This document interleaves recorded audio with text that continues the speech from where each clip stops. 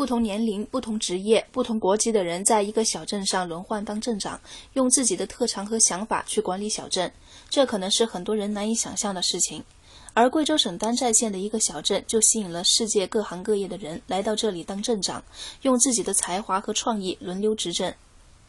近日，记者来到位于贵州省黔东南苗族侗族自治州丹寨县的万达小镇，在这里每周都会有一位轮值镇长上任。虽然天气寒冷，小镇的街道上还是有许许多多来往的游客。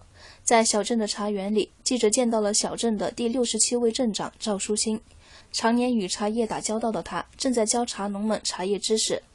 镇长赵书新是一位经营茶叶的企业家，他希望运用自己的经验，让丹寨小镇的茶叶产业化、规模化。这个担任这镇长啊，呃，说个实话，呃，心里不安，也挺忐忑的。这个这个镇长是吧？就是我们这个古人讲的“为官一任，造福一方”。当了镇长，你得给人当地人。干点什么好事儿啊？干点实事儿啊！其实每个州都有每每个州都有镇长，每个镇的镇长他的这个来自不同的行业。我觉得这个方法非常好，好在什么地方呢？不同行业有政府的，有媒体的，有这各种那种，还有我们企业的，他们会从不同的角度给这个丹寨小镇提意见、提建议。或者这些意见和建议都是他们经过多年的工作也好历练出来的、提炼出来的。记者了解到，小镇自2017年开始在全球招募轮值镇长后，在一年多的时间里，已经有67位镇长上任。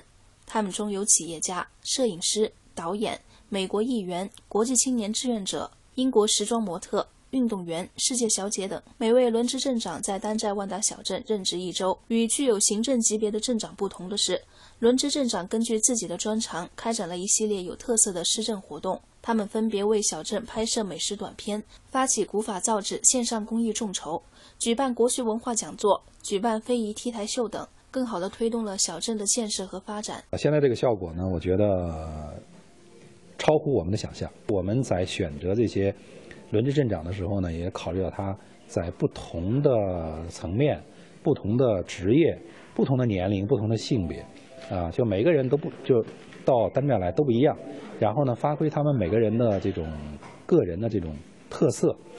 呃，一年多以来，呃，每一个镇长到丹寨来，都引起了很强烈的关注。据了解，丹寨万达小镇是2017年开业的旅游小镇。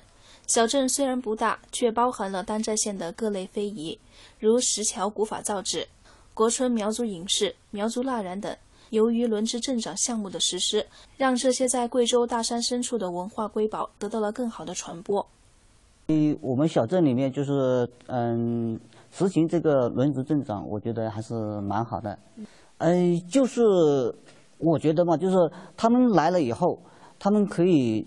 嗯，在他任职期间，有一些呃做的事情啊，因为我我不是每一位我都了解那么多哈，但是就说呃每一个人他来做了，他来了以后呢，他回去他可能就是对我们小镇的一些比较有特点的东西啊，可以可以嗯推广出去。